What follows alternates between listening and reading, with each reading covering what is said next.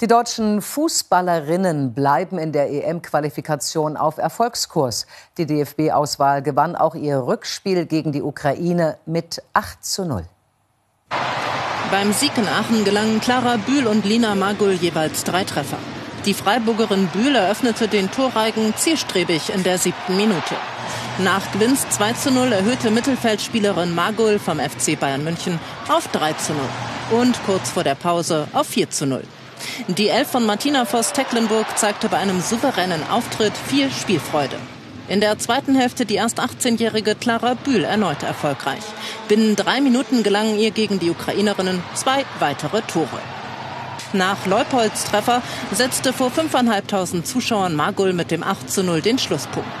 Im nächsten EM-Qualifikationsspiel tritt Deutschland am Dienstag in Griechenland an.